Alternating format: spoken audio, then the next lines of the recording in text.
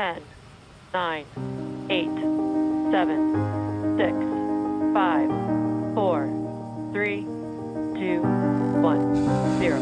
Ignition. Liftoff of the Falcon 9 and Crew Dragon. Go NASA, go SpaceX, Godspeed, Bob and Doug. America has launched. So rises a new era of American space flight, and with it the ambitions of a new generation continuing the dream. 20 seconds into flight stage one propulsion is nominal.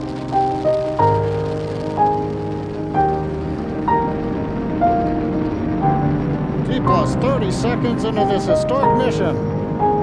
Flying crew on board Dragon and Falcon 9 and look at them go. Falcon power telemetry nominal. ¿Qué tal? ¿Cómo les va? Muy buenas tardes. Bienvenidos a Ecos del Mundo Estrellado. Bueno, tenemos un cambio escenográfico hoy, tal vez en forma transitoria. Bueno, están viendo a mis espaldas el cohete Shepard, el New Shepard, que es de la empresa Blue Origin.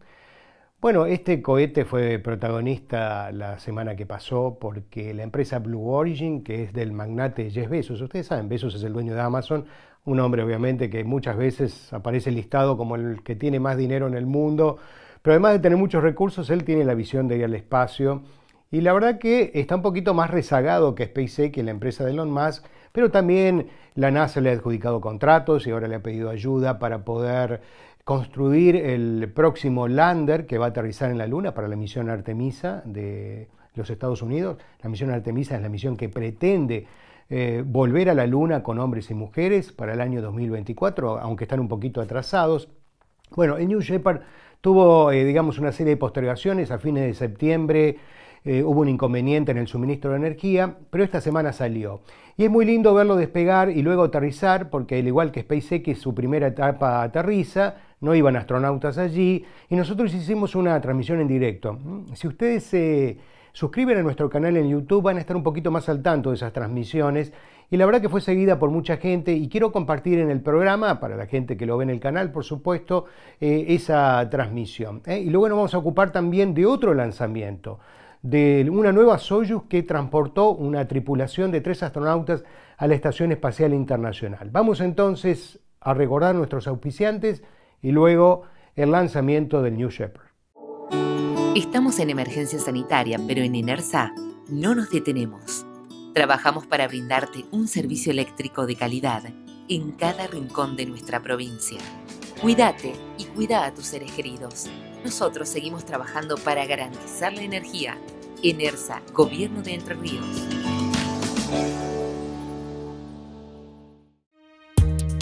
Honorable Consejo Deliberante de Paraná, un espacio de pluralidad y voz ciudadana. Entérate de lo que pasa en tu ciudad ingresando a www.hcdparaná.gov.ar y seguinos por las redes sociales, Facebook y Twitter. La compañía Blue Origin del magnate Jeff Bezos, dueño de Amazon, se apresta a realizar otro lanzamiento de testeo de su cohete New Shepard.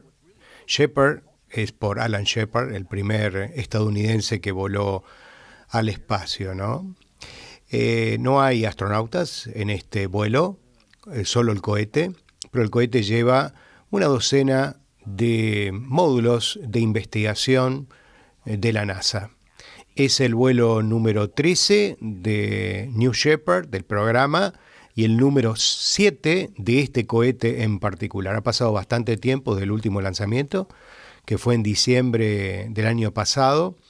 Se iba a realizar uno en abril, pero debido a toda la situación del COVID, de la pandemia, la compañía decidió postergarlo. Hubo también alguna preocupación de contagios en, en los empleados en ese momento y fue demorado hasta septiembre, a finales de septiembre, pero también tuvo que ser postergado debido a un problema que hubo con el suministro de energía.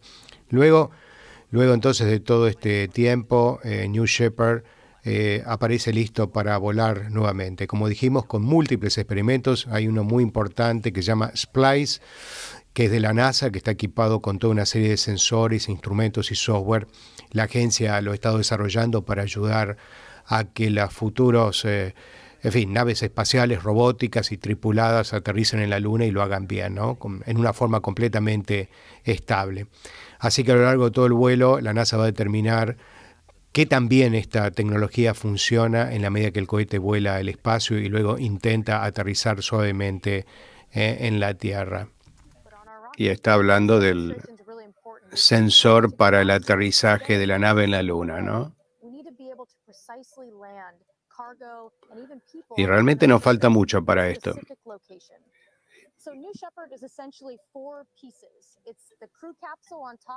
Está hablando que son cuatro piezas. La cápsula arriba, donde estarían los astronautas. Está hablando de los motores ahora, los boosters. Son cuatro. Ahí están los motores. Ahí señalaron el sensor, ¿no? Para el aterrizaje. Ahí está, la llaman como la pista de baile, ahí se encuentran los sensores, arriba del último tanque, dice.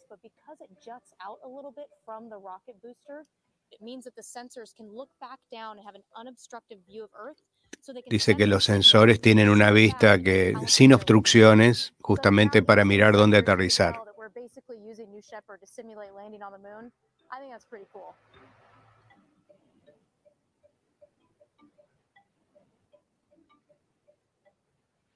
Me encanta cómo aterriza. Es más grande que la primera etapa del, Space, del cohete de SpaceX, o más, o tiene más diámetro al menos. Bueno, está hablando cómo se separa la cápsula luego del mico. El mico es cuando casualmente termina la termina el encendido del cohete, ¿no?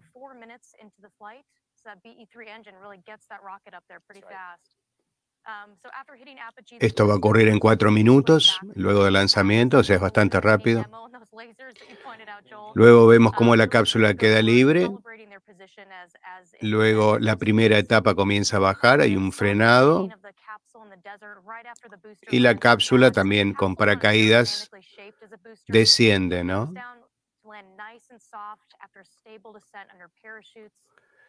Um, y obviamente que el aterrizaje tanto del cohete como de la cápsula son suaves. El primero por el encendido de sus cohetes, el segundo por los paracaídas. Hermosa vista, dice, desde la torre de control, desde la plataforma, ¿no? Quiero recordarles que no van personas aquí, este no es un vuelo tripulado. Son vuelos experimentales que se hacen con la idea de probar sistemas que algún día se utilizarán para el turismo espacial, pero también para la misión Artemisa a la Luna. Una misión que se encuentra un tanto demorada, sobre todo por los cohetes SLS que está desarrollando la NASA y su cápsula Orión sobre todo el cohete SLS, que es el que debería impulsar a los astronautas a la Luna, tiene una demora y es difícil que realmente se llegue al año 2024, por lo menos es lo que dicen extraoficialmente mucha gente que habla desde la NASA. ¿no? Ah, la cápsula para los tripulantes, el día que vayan en ella, no, no es en esta ocasión.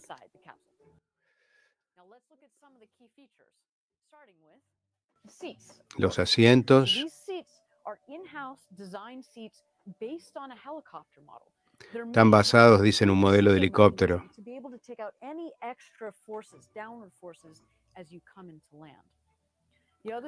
Cosa de amortiguar, dice, cualquier fuerza extra en el aterrizaje. Sí, la verdad que tiene ventanas preciosas realmente. Las más amplias desde que se ha volado en el espacio. Es cierto, nada. La Crew Dragon de SpaceX no tiene tantas ventanas, tiene una, creo.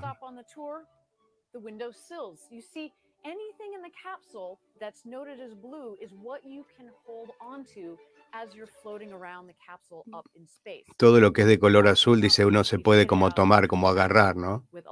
Está pensado un poco también para los turistas, porque Claro, para poder compartir después sus recuerdos con sus amados, dice. Pues la idea de Jeff Bezos es usarla para el turismo. Qué belleza, ¿no? Es- explorar la tierra o los cielos, dice. New Shepard va a ser todo un, un viaje, ¿no? Y una aventura. Recordemos que es el decimotercer vuelo de un cohete suborbital New Shepard desde 2015 y se espera que sea el séptimo vuelo del último propulsor reutilizable.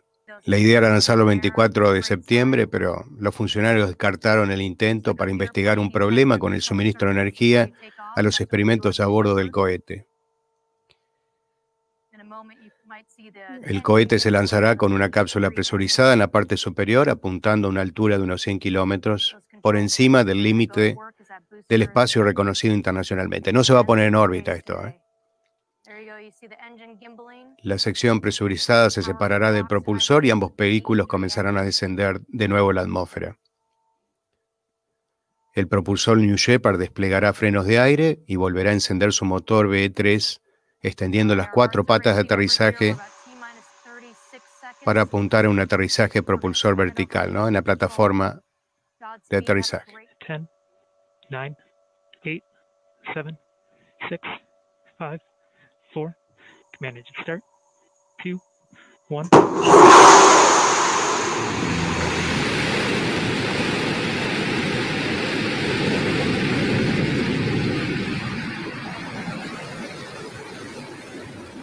All right, look at her go. Mission control has confirmed New Shepard has cleared the tower. Check out that shot from our drone. On her way to space. Lunar landing tech on board. Payloads inside. Bueno, el lanzamiento se ha producido, todo parece que va bien. BE3 engine is really doing its work. What a clean burn. Todo bien, el encendido de sus motores. Hay que llegar a Max Q, que es la máxima, el máximo estrés dinámico al que es sometido la, la ingeniería del, del cohete, ¿no? A la derecha pueden ver ustedes la altura, no, perdón, la velocidad, en millas por hora está, y el tiempo que ha transcurrido desde el despegue. A la izquierda la altitud, pero está en pie, ¿no?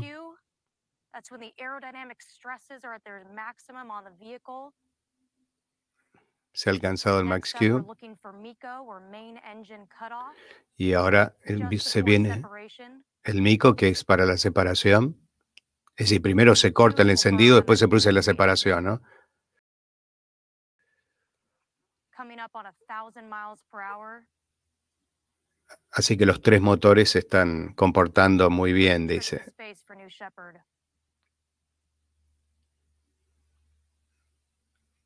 Cómo ha progresado la televisación de estos eventos. Cómo se ve el cohete cuando despega, cámaras que hay arriba, desde probablemente helicópteros, aviones.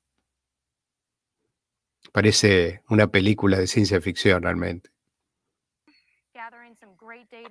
Y hay experimentos que se están haciendo allí en baja gravedad y que están transmitiendo datos. Bueno, está hablando de que desde la nave hay una visión bellísima de la Tierra. El día que vayan turistas, obviamente que lo van a disfrutar.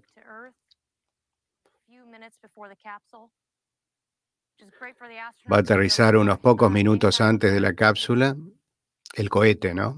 Que ahí lo vemos. Ya se han abierto las patitas, ¿no?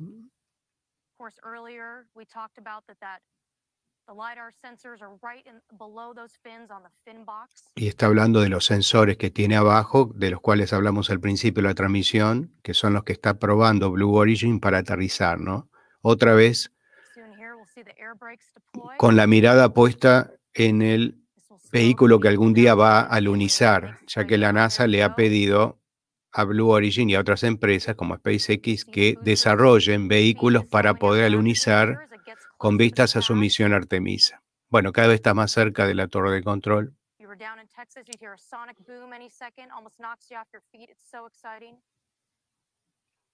All right, there go the drag brakes. Here we go. We're getting close. Estamos cerca, empieza el frenado.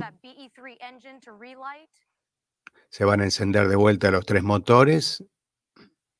Ahí empieza.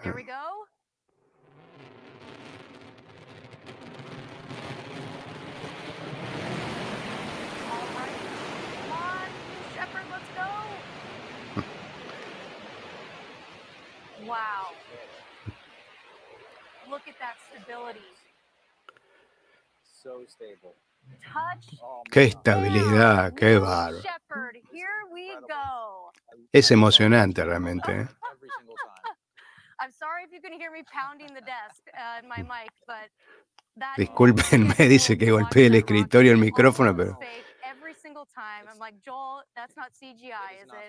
ha aterrizado bien cada vez, dice. Y realmente es, es más grande, más ancho que el de SpaceX. No es que quiera comparar, pero es bellísimo, me encantan verlos y uno no puede dejar de imaginar el día que, que lo haga en la Luna o en Marte, ¿no? Lo hace tan bien, como si fuera una película de ciencia ficción, de esas de antes, ¿no? Donde había este tipo de vehículos. Está hablando que la, la, la tripulación de recuperación. Se dirige al lugar para, no sé si probablemente enfriar o, o de- o- o ver que todo está bien. ¿no? Y ahí viene la cápsula, ¿no? Todo un espectáculo. Ya se han desplegado los paracaídas principales.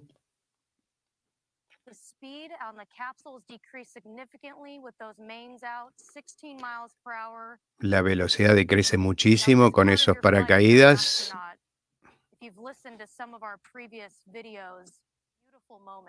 Es un momento bellísimo, dice, muy silencioso. mm, No hay motores que se encienden. Cae por la gravedad, obviamente frenado por los paracaídas, ¿no? Que hacen de sostén a dos millas por hora, más o menos unos tres kilómetros por hora. Look at those beautiful mountains. Wow. Vean esas bellísimas montañas. Están emocionados los relatores. Speed stabilizes about 16 miles per hour and then right. will be about 1 to 2. Here we Oh, qué linda imagen.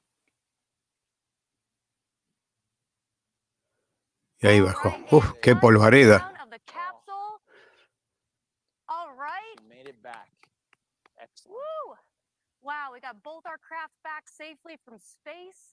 You see Looks to those- have been just a fully nominal flight here, Joel. That's right. Bueno, ha bajado, dice, con seguridad desde el espacio. Bien. I'm about to fall out of my chair.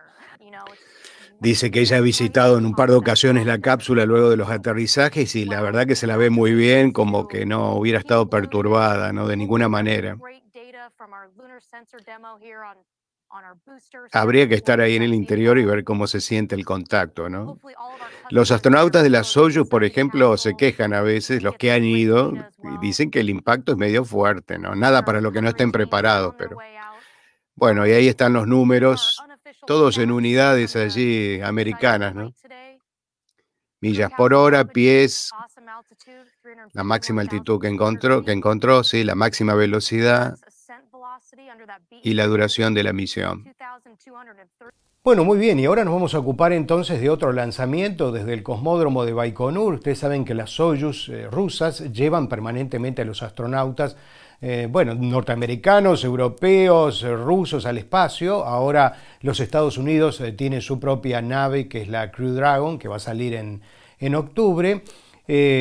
Eh, estos son vuelos regulares, rutinarios. Hay gente que me dice, eh, nunca pasan los lanzamientos rusos. Bueno, aquí está, vamos a ver la primera parte donde los astronautas van caminando hacia el cohete, luego lo vamos a ver en el interior, el despegue, el acople y, y el ingreso a la Estación Espacial Internacional cuando se abre la escotilla. Vamos entonces.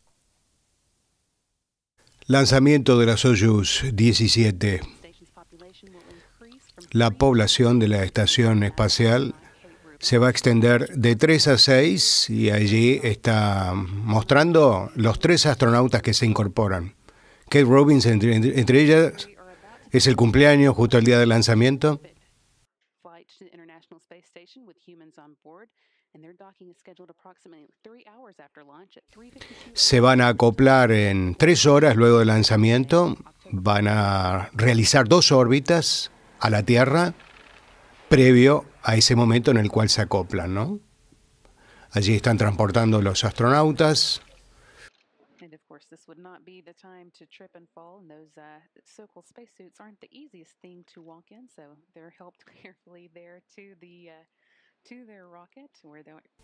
Bueno, están diciendo que no es fácil por allí desplazarse con esos trajes, así que los estaban ayudando, los estaban acompañando, por eso los tomaban un poquito del brazo. which they've now been inside of for the past two hours. Se van a tomar la foto ya característica. Saludan con el barbijo correspondiente. Kate Rubens there waving their final goodbyes before they get into their. Bueno, están saludando, diciendo adiós, previamente a introducirse en la cápsula. Allí los vemos. La cápsula Soyuz es realmente muy pequeñita.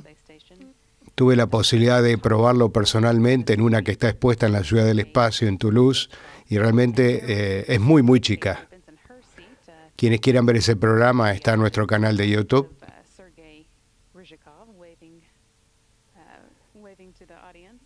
Kate está saludando allí a la audiencia previo al lanzamiento a 24 minutos del despegue.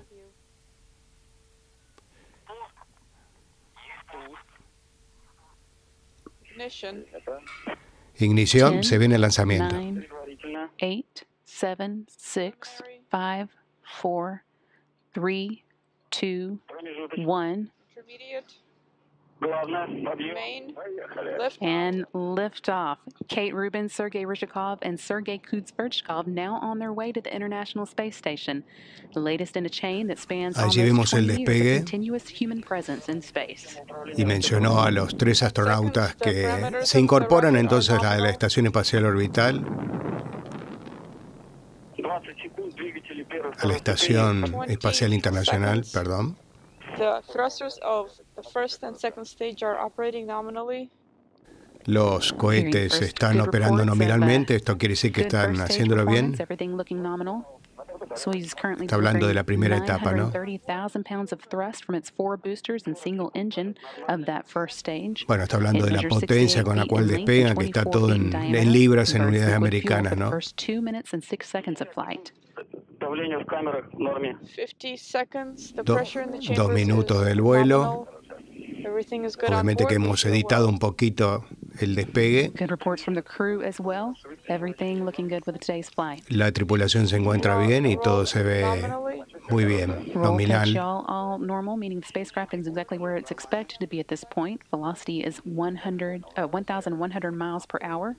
Y'all all normal, meaning the spacecraft is exactly where it's expected to be at this point. Velocity is 100, uh, 1,100 miles per hour. 1100 First millas por hora la velocidad en estos momentos. Flight time left now. 80 seconds parameters are nominal. On board, everything is good. We feel well. Todo se ve bien, nos sentimos bien. Esa- ese fue el capitán hablando con control, con is control de escape tower misión. jettison, which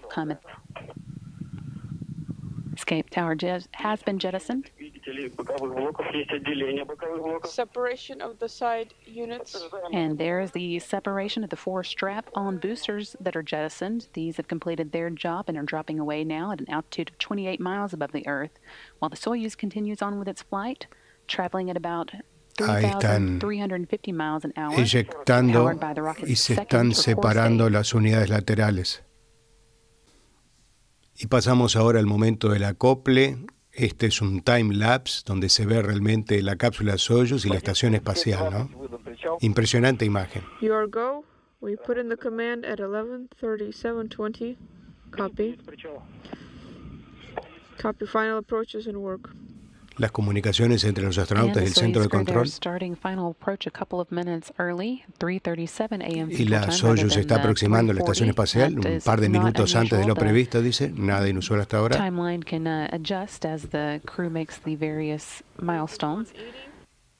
Dice que el timeline, el cronograma, se puede ajustar sin problema, es decir, que no tiene que ser tan exacto, ¿no? Otro time lapse donde vemos cómo se acerca rápidamente, ¿no? La cápsula Soyuz atrás la Tierra con sus nubes, realmente una imagen maravillosa y a gran velocidad. Ahí tenemos otra vista.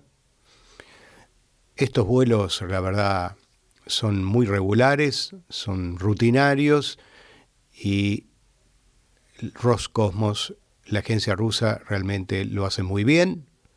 Sus performances han sido muy confiables y muy efectivas todas. Tal vez la cápsula no sea la más cómoda de todas y suena un poco antigua, pero realmente ha sido muy efectiva, lo ha demostrado a lo largo de los años, ¿no? Se está acercando la Soyuz entonces a la estación espacial para su acople.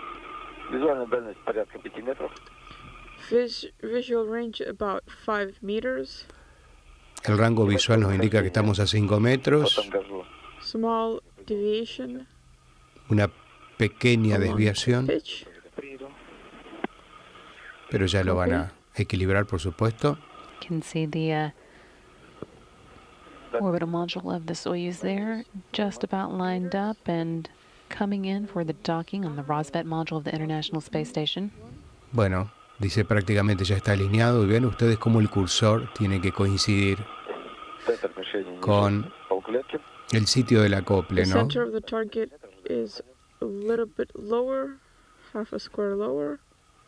Parece como un videojuego, ¿no? Dice que está un poquito más abajo. El contacto está confirmado. Copy. Cerca es confirmed. At 11:48. Bueno, a las 11.48 está confirmado el acople entonces. Bueno, se está por abrir uh, la escotilla donde vamos a ver el ingreso de estos tres astronautas a la Estación Espacial Internacional, incrementando entonces la tripulación a seis. Al menos de forma transitoria hasta que los tres que se encuentran en estos momentos uh, retornen a la Tierra. Vemos que hay dos cosmonautas rusos y tenemos también a la astronauta de la NASA de los Estados Unidos, ¿sí? Ahí ven ustedes las distintas naves que se encuentran acopladas a la estación espacial, que recordemos que tiene el tamaño de una cancha de fútbol, ¿no? Con sus paneles solares desplegados. Ahí se está por abrir la escotilla para dar la bienvenida a los recién llegados en la cápsula Soyuz, ¿no? Se abre la primera escotilla, allí están ya con las cámaras preparadas para mostrar el ingreso de los astronautas. La última vez que vimos esto fue con los astronautas de la Crew Dragon, ¿no? La Dragon tripulada, que obviamente tuvo una gran repercusión porque fue la primera misión privada tripulada donde se hizo historia. We are observing how you're opening the hatch. Estamos viendo cómo se abre la escotilla y allí están apareciendo los astronautas, ¿no? Flotando en el ambiente de ingravidez.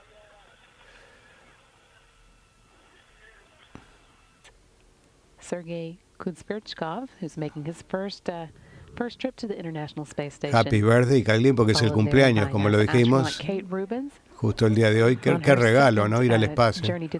Y es la segunda vez que va a la Estación Espacial Internacional, así que ya es una astronauta veterana.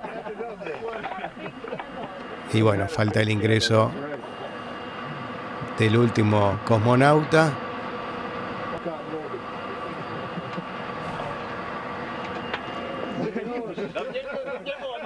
Me gusta la forma natural en la que se saludan, como si estuviera bajando de un colectivo urbano de pasajeros, ¿no? Esta gente realmente es increíble. Todo ese vuelo para ellos eh, es como algo regular, como algo normal. Bueno, hasta aquí nuestra cobertura entonces. Estamos en emergencia sanitaria, pero en INERSA no nos detenemos. Trabajamos para brindarte un servicio eléctrico de calidad en cada rincón de nuestra provincia. Cuídate y cuida a tus seres queridos. Nosotros seguimos trabajando para garantizar la energía. ENERSA, Gobierno de Entre Ríos. Bueno, muy bien, vamos cerrando el programa. Antes, dos notas que les quiero añadir, tal vez de color. ¿Vieron la persona, el astronauta que estaba con la cámara? ¿Eh? Ese astronauta que se llama Christopher Cassidy, que es el comandante de la ISS ahora hasta que vuelva, porque va a estar unos días, Luego la ISS se va a quedar nada más que con tres astronautas. Es probable que sea el camarógrafo de una película que va a interpretar el actor Tom Cruise en el espacio. Él va a volar el año que viene. ¿eh? Sí, esa película va a ser espectacular y va a tener una repercusión porque va a ser el primer largometraje que se va a filmar en el espacio real. Se sabe que al actor no le gusta tener dobles, le gusta hacer las tomas él solo.